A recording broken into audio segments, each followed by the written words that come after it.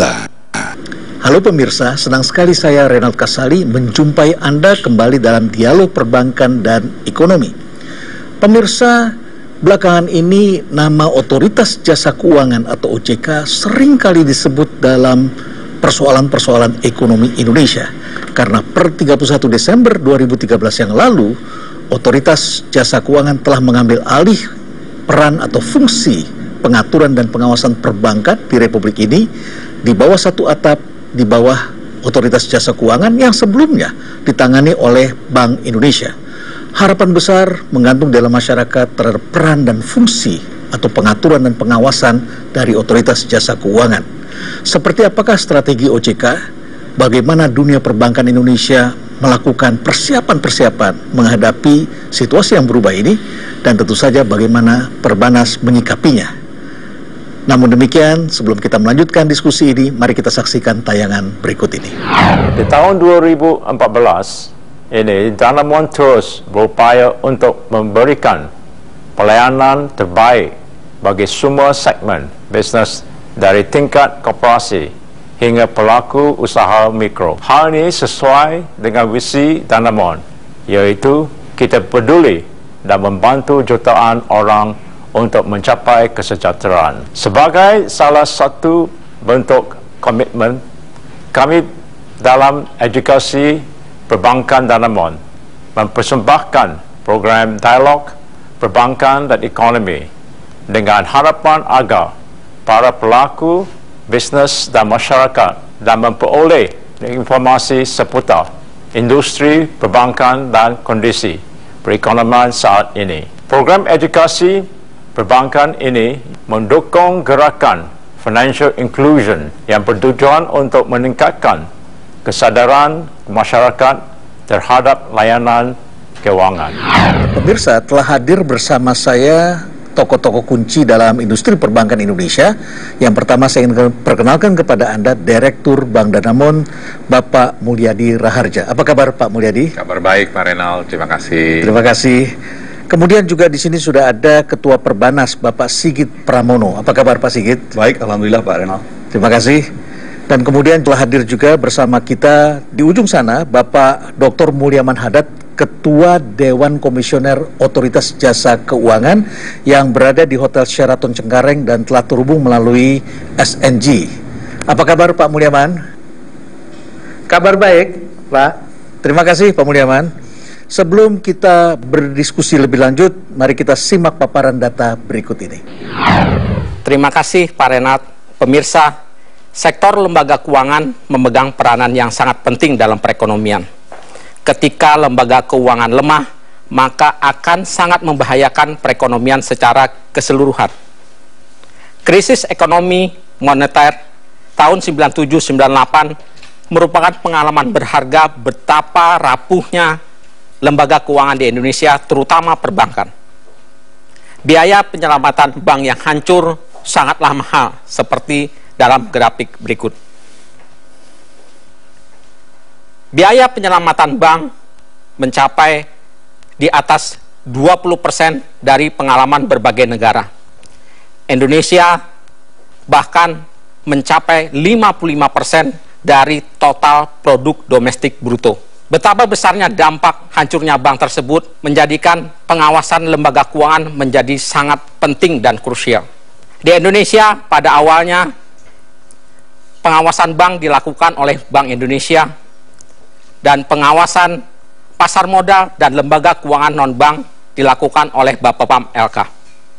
Namun sejak tahun 2014, pengawasan lembaga keuangan secara keseluruhan dilakukan oleh otoritas jasa keuangan atau yang disebut dengan OJK. Tidak semua negara memiliki OJK seperti Amerika Serikat, China, dan Kanada. Sementara negara Jerman, Korsel, Inggris, Jepang, dan Australia memiliki OJK. Tidak semua OJK di negara-negara tersebut berhasil. Inggris dan Australia gagal. OJK kiranya harus berhati-hati dan bekerja keras. Semoga saja OJK di Indonesia menjadi memperkokoh perekonomian Indonesia. Demikian Pak Renat, kembali ke Anda. Saya ingin memulai diskusi kita pertama-tama dengan Ketua Dewan Komisioner Otoritas Jasa Keuangan, Pak Mulyaman. Masyarakat tentu ingin mengetahui seperti apakah perbedaan regulasi keuangan selama berada di Bank Indonesia dan ketika sekarang telah berada di bawah OJK. Sebetulnya tidak ada perubahan secara mendasar ya. Yang mungkin ada itu uh, lebih pada uh, cara atau metodologi bagaimana pengawasan itu dilakukan ya. Karena menurut saya yang menjadi amanat dari eh, undang-undang uh, OJK uh, ini adalah agar OJK dengan uh, uh, payung hukum yang baru ini harus mampu mengawasi industri keuangan secara lebih terpadu, terintegrasi. Pengawasan tetap fokus pada sejauh mana kita meyakini bahwa prinsip-prinsip prudensial itu diterapkan atau dipraktekkan di industri keuangan. Sebab kadang-kadang risiko itu tidak hanya muncul dari uh, bank sendiri, ya. Kadang-kadang kemudian bank tertarik ke bawah oleh uh, apa namanya kinerja dari anak perusahaannya. Nah, ini bisa kita identifikasi sejak dini atau lebih early uh, kalau kita mampu melakukan pendekatan pengawasan secara terintegrasi. Baik, kalau demikian maka apa sebetulnya tantangan yang dihadapi OJK? Fokus OJK itu lebih kepada penanganan mikro. Artinya sejauh mana pada tingkat mikro ini, pada tingkat perusahaan atau pada tingkat bank atau lembaga keuangan ya diterapkan prinsip-prinsip kehatian-hatian yang baik ya. Penerapan good corporate governance yang baik. OJK tentu saja juga harus meyakini bahwa setiap kebijakan yang ditempuh secara makro, baik yang datang dari dalam negeri maupun yang datang dari luar negeri, uh, kita bisa antisipasi apa kira-kira dampaknya. Baik, kalau demikian dapat saya simpulkan sebetulnya salah satu peran yang dijalankan OJK adalah selain me melindungi perekonomian juga adalah melindungi kepentingan konsumen. Pertanyaan selanjutnya tentu adalah siapa yang mengawasi OJK? Undang-undang OJK mengatakan bahwa eh, OJK eh, melaporkan ini kepada Dewan Perwakilan Rakyat ya. Kinerja OJK secara rutin uh, apa anggaran OJK juga harus di-approve oleh uh, Dewan Perwakilan Rakyat dan tentu saja ada lembaga lain selain Dewan Perwakilan Rakyat yang mengawasi OJK terutama dari aspek uh, governance uh, dan uh, internal control yang dilakukan oleh OJK yaitu uh, BPK. Ya, baik Pak Mulyaman, kita akan melanjutkan setelah jeda komersial berikut ini.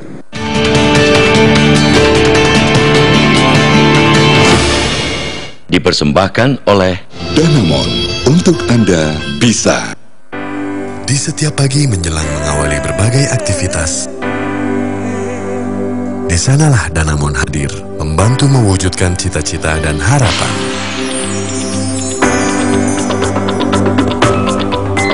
Mengerti akan setiap usaha dari kecil hingga besar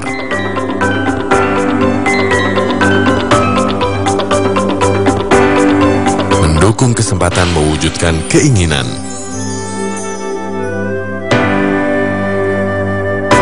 Memberikan kemudahan hingga merasakan hasil nyata. Dan inilah yang telah kami lakukan.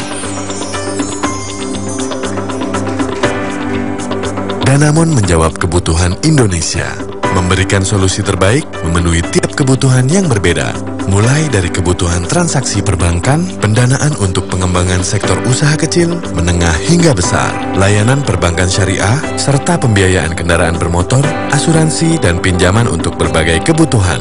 Dengan visi peduli dan membantu jutaan orang untuk mencapai kesejahteraan. Inilah komitmen serta dedikasi Danamon terhadap masyarakat dan lingkungan.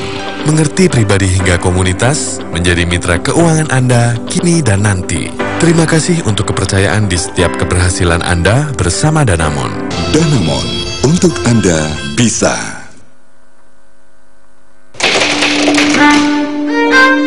Tidak. Enggak lah. No, no tidak. Enggak. Ya, enggak lah. No, no, no. no, no, no. Pilih tabungan Danamon lebih dengan 5 kelebihan. Bebas biaya admin, cashback, transfer termurah, dan gratis tarik tunai. Gratis asuransi jiwa dan banyak hadiahnya. Tabungan dan nomor lebih. Kenali kebutuhan dan produknya Kenali manfaat dan risikonya Kenalilah hak dan kewajibannya Kenali supaya kita tahu Sikapi uang dengan bijak Nikmati tabungan dengan banyak keuntungan. Bebas antrian, gratis transfer, kemudahan di mana saja. Selalu terupdate setiap hari. Pertambahan saldo diikuti hadiah dan bunga tinggi. Dapatkan berbagai keuntungan lainnya dengan membuka tabungan premium Fleximax.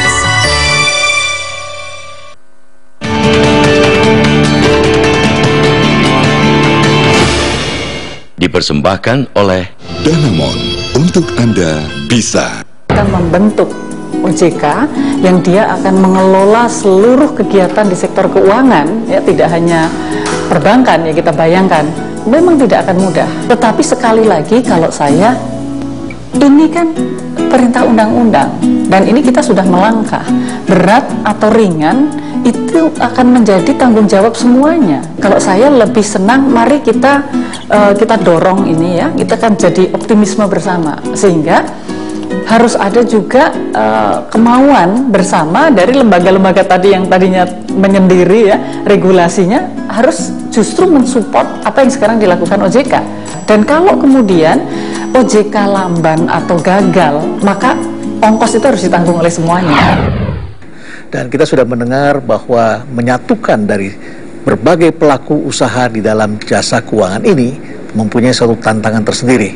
Dan saya juga ingin melanjutkan pertanyaan kepada Direktur Bank Danamon, Pak Mulyadi Raharja. Seperti kita ketahui, Bank Danamon ini bukan hanya bergerak di sektor perbankan, tetapi juga memiliki anak perusahaan yang bergerak di bidang multi finance, yaitu Adira Finance, dan juga di bidang insurance, Adira Insurance. Yang tentu saja ini berbeda nuansanya dengan situasi sebelumnya. Sebelumnya di bawah pengawasan satu Bank Indonesia dan lainnya adalah Bapepam. Uh, bagaimana Bank Danamon melihat hal ini? Kalau dari Danamon sendiri, karena kami memiliki beberapa bisnis di jasa keuangan, yang jelas sekarang pengawasan menjadi satu atap dan lebih terintegrasi seperti Pak Mulyaman tadi katakan.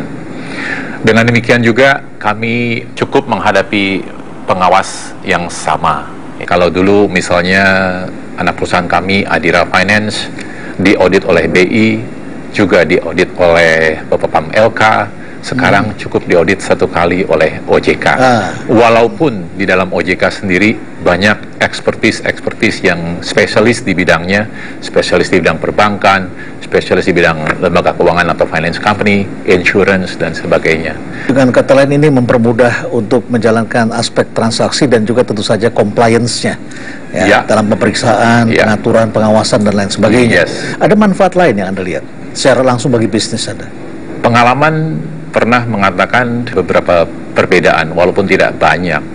eh, regulasi satu dengan regulator yang lain. Jadi itu dengan adanya satu atap kali ini ya, saya pikir hal ini tidak akan terjadi. Baik, saya ingin menanyakan kepada Pak Sigit yang menaungi para pelaku di sektor perbankan, perbanas.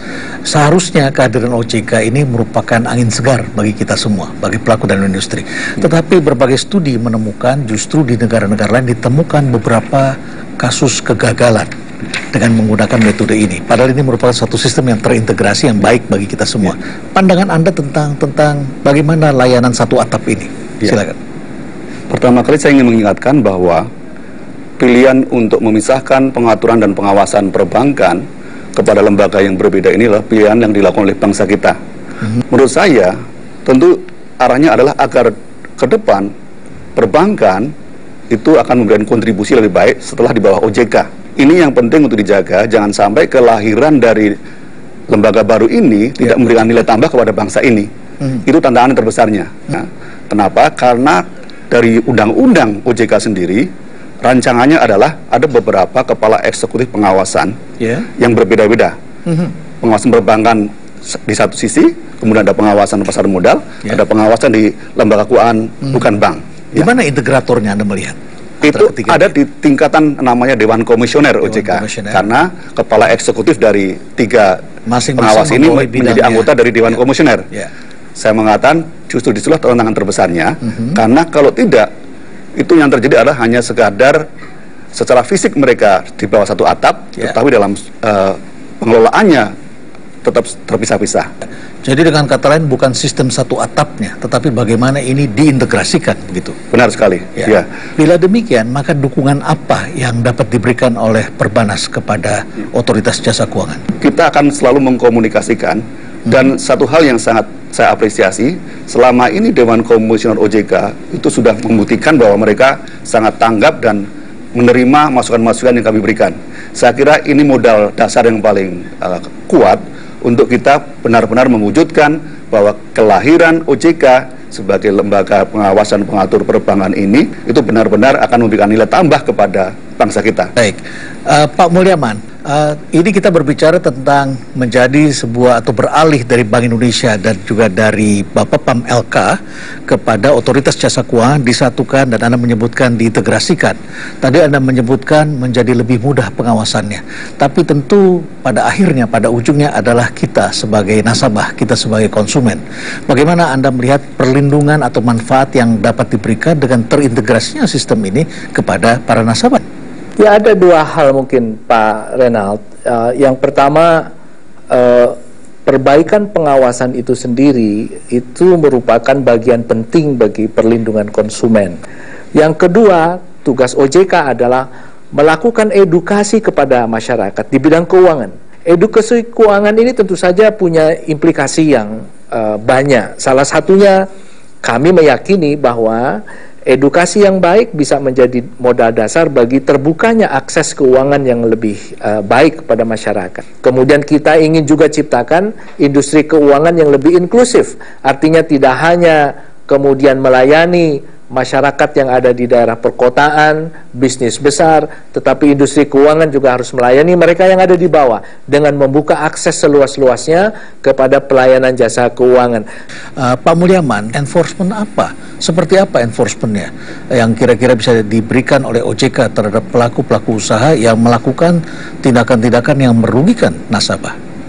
Mungkin kalau boleh saya katakan kelebihan yang dimiliki oleh OJK, undang-undang memberikan uh, hak sangat istimewa yang tidak diberikan kepada Bank Indonesia sebelumnya, yaitu hak untuk melakukan penyidikan.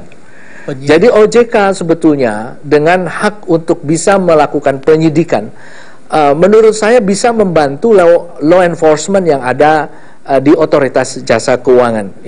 Baik, saya ingin ke Pak Mulyadi. Pak Mulyadi, seperti apa Bank Danamon sebagai pelaku usaha di sektor jasa keuangan ini? Ya, harapan apa yang Anda ingin berikan kepada OJK dalam mengeluarkan peraturan-peraturan yang berdampak pada usaha di sektor keuangan? Ya, salah satu harapan kami tentu adalah kebijakan, policy, dan pengawasan yang akan dikeluarkan oleh OJK tentu yang pro pertumbuhan untuk industri karena industri keuangan adalah salah satu pilar yang vital untuk perekonomian negara mana pun termasuk Indonesia. Baik, pemirsa jangan ke mana-mana, kita akan melanjutkan kembali setelah jeda komersial berikut ini.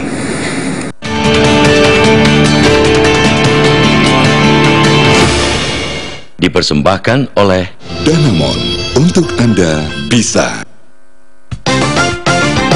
Kenali kebutuhan dan produknya Kenali manfaat dan risikonya Kenalilah hak dan kewajibannya.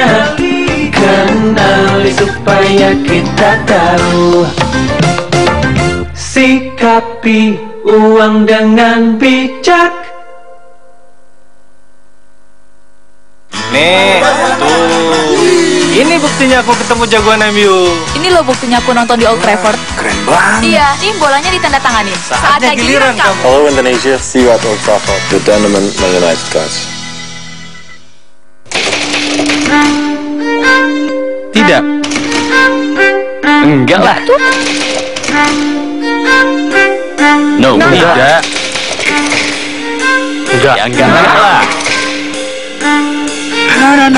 Pilih tabungan dana mon lebih dengan 5 kelebihan. Bebas biaya admin, cashback, transfer termurah, dan gratis tarik tunai. Gratis asuransi jiwa dan banyak hadiahnya. Tabungan dana mon lebih. Apakah Anda pernah bermasalah dengan lembaga jasa keuangan? Bila iya, manfaatkanlah layanan konsumen OJK sebaik mungkin.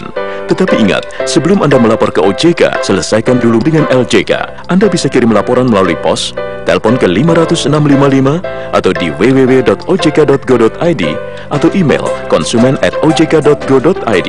Jangan lupa sertakan persyaratan pengaduan.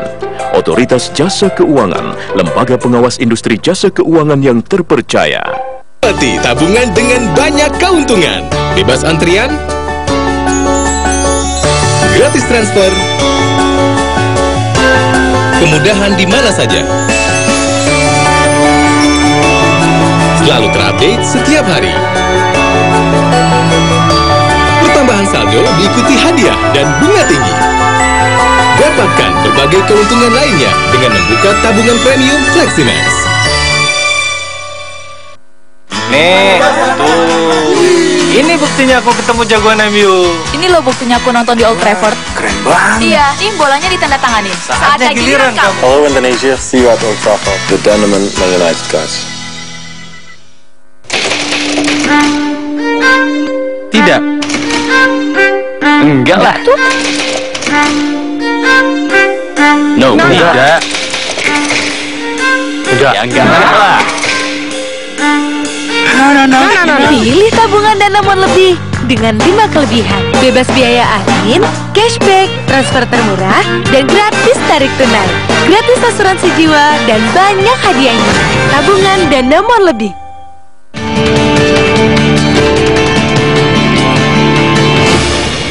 Dipersembahkan oleh Danamon untuk Anda bisa. Saya kira yang mendesak dari eh, peran OJK terhadap konsumen adalah OJK harus banyak melakukan sosialisasi kepada masyarakat sehingga masyarakat tahu peran dan fungsi OJK sehingga kalau ada persoalan-persoalan itu bisa langsung mengakses OJK. Itu yang secara makro. Yang kedua yang sangat mendesak juga adalah OJK harus banyak membuka akses-akses pengaduan bagi masyarakat. Akses pengaduan itu bisa meliputi tempat, momen, dan juga akses dalam arti infrastruktur. Jadi jangan sampai setelah ada OJK juga masyarakat tetap kesulitan mengakses OJK untuk mengadukan kalau ada persoalan-persoalan karena persoalan tidak tahu alamatnya, tidak tahu nomor teleponnya, tidak tahu alamat email, Twitter, dan segala macam. Ketiga, saya kira yang juga tidak kalah pentingnya adalah OJK harus memerankan yang sifatnya proaktif atau jemput bola. Baik, Pak Mulyadi, kita ketahui sebentar lagi Indonesia akan memasuki uh, masyarakat ekonomi baru, masyarakat ekonomi ASEAN. Ya, seperti apa Bang Danamon menyikapi hal ini? Eh, sebetulnya ada atau tidak ada masyarakat ekonomi ASEAN ini sekarang ini pun kita sudah lihat bahwa globalisasi merupakan hal yang tidak bisa kita tolak. Uh, regionalisasi juga demikian. Kita lihat dari industri keuangan Indonesia yang cukup terbuka dan so far kita juga bersyukur di mana pengalihan dari Bank Indonesia ke OJK ini is in a good timing and a good shape. Karena apa? Industri perbankan telah terbukti setelah kasus Lehman Brothers dan krisis keuangan global ternyata tetap uh, bisa tumbuh dengan sangat baik per tahun berkisar 20% di lima tahun terakhir. Saya kira itu satu bukti yang baik. Nah dalam konteks untuk eh, regionalisasi saya kira memang tugas kami dari pelaku industri dan tentu saja nanti dibina oleh OJK bekerja sama dengan Bank Indonesia terus eh, mempersiapkan diri agar kita bisa menjadi eh, pemberi jasa keuangan kepada uh, masyarakat Indonesia karena yang paling tahu market Indonesia harusnya adalah kita-kita yang ada di Indonesia. Baik, Pak Mulyaman, ini tadi disebutkan it is a good timing. tahun depan masyarakat ekonomi ASEAN. Bagaimana Anda melihat peran OJK dalam integrasi ASEAN ini? Ya, saya kira uh, kita sudah mempersiapkan ini uh, dan juga kita mengingatkan semua pihak, terutama para pegiat di industri keuangan, uh, bahwa ini harus kita siapkan dengan sebaik-baiknya. Memang ada perbedaan sedikit time frame ini pada tingkat ASEAN ya, karena uh, uh, integrasi perbankan itu sesuai dengan kesepakatan terakhir itu baru akan kita lakukan pada tahun 2020 ya. Sementara kesepakatan integrasi di pasar modal dan industri keuangan bukan bank itu uh, masih tetap uh, uh, pada tahun 2015 ya. Uh, memang ini satu hal yang menurut saya perlu direspon secara lebih terintegrasi. Makanya kemudian uh, OJK membentuk semacam tim task force betul-betul untuk merespon uh, terutama yang terkait dengan integrasi ekonomi ASEAN ini pada tahun 2015. Setelah itu kita banyak melakukan pembicaraan belakangan hari ini dengan berbagai macam otoritas terutama di lingkungan ASEAN untuk meyakini bahwa integrasi yang akan kita lakukan betul-betul mutual benefit. Artinya uh, memiliki semangat saling menguntungkan bagi kedua belah pihak. Ya, terima kasih Pak Mulyaman. Saya ingin ke Pak Sigit. Untuk aktivitas yang sebesar ini tentu memerlukan pembiayaan OJK ini dan tentu ini terkait dengan lembaga-lembaga yang diawasi sendiri yaitu uh, para pengusaha di sektor perbankan. Uh, bagaimana Anda melihat mengenai pembiayaan OJK ini? Uh, begini, sebetulnya kalau mengenai pembiayaan OJK menurut undang-undang OJK kan bersumber dari dua. Ya. Yang pertama APBN, Betul. yang kedua dari pungutan terhadap pelaku industri. Pelaku ya. industri. Iya. Dalam hal ini memang karena ini amanat undang-undang bagi industri perbankan tiada pilihan lagi. Jadi kita tentu akan mematuhi ini ya. Tapi yang penting adalah kami menghimbau kepada uh, eh, OJK agar ada kearifan mengenai berapa besarnya dan kapan diterapkan. Ini penting karena untuk diketahui sebelum ini kan uh, perbankan diawasi oleh Bank Indonesia tidak membayar. Mm-hmm. Nah ini diawasi OJK nanti membayar, ya kan? Ya. Tentu kalau boleh memilih kan memilih yang tidak membayar. Tapi saya kira sekali membayar. lagi ini adalah pilihan yang sudah dilakukan oleh bangsa ini untuk pengaturan pengawasan perbankan di bawah OJK. Ya. Saya pikir ini yang menurut saya ya kita harus patuhi ya. ya tapi sekali lagi membayar apa yang anda uh, apa yang diinginkan oleh para pelaku usaha. Kita kalau membayar sesuatu kan kita punya tuntutan. Tentu tentu. Yang pertama uh, dari segi kualitas pengawasan, mm-hmm. komunikasi dengan industri, karena ini penting itu juga kami ingin perlu harapkan ya. Yeah. Dan satu hal lagi yang paling uh, akan membebani apabila beberapa otoritas ini ada BI, OJK nanti mewajibkan pelaku industri untuk membuat laporan, kami berharap ada satu pintu ya. Kalau pengawasannya terin satu atap, laporan juga kami satu pintu. Kemudian katakanlah kita lapor kepada OJK saja, kemudian OJK yang mendistribusikannya kepada BI, BPATK, atau lembaga lainnya. Jadi kalau tidak seperti itu, itu akan sangat membebani perbankan karena sistem teknologi informasinya, sumber daya manusianya untuk membuat laporan ke otoritas yang berbeda ini sangat mahal sekali. Ya, terima kasih banyak Pak Sigit. Pak Mulyadi dan kasih, juga Pak Mulyaman Hadat yang telah terhubung dengan kita melalui jaringan SNG di sana. Terima kasih. Dan pemirsa, kita telah mendengarkan bagaimana strategi dan segala persoalan yang dihadapi dengan berpindahnya lembaga pengaturan dan pengawasan perbankan dari Bank Indonesia kepada otoritas jasa keuangan. Ketika disatukan, kita sudah mendengarkan tentu saja tujuannya tidak lain adalah untuk melindungi perekonomian kita dan tentu saja untuk melindungi konsumen. Belakangan terjadi krisis ekonomi yang melanda bangsa-bangsa di dunia adalah karena inovasi yang berlebihan di sektor keuangan yang sudah mulai terpisah dari sektor real. Pemisahan seperti ini tentu saja mengakibatkan banyak pelaku usaha di sektor pelaku usaha jasa di sektor keuangan yang kemudian menyimpan masalah-masalahnya pada anak-anak perusahaan dari sektor yang berbeda-beda. Dengan disatukan harapannya tentu saja terjadi integrasi. Masyarakat perbankan sendiri sangat mendukung dan ingin memberikan kontribusi karena sudah menjadi kesepakatan nasional dan sudah diundang-undangkan. Tentu saja kita wajib bersama-sama untuk menjaganya. Demikian pemirsa dialog perbankan ekonomi kita. Kita akan bertemu kembali pada episode selanjutnya.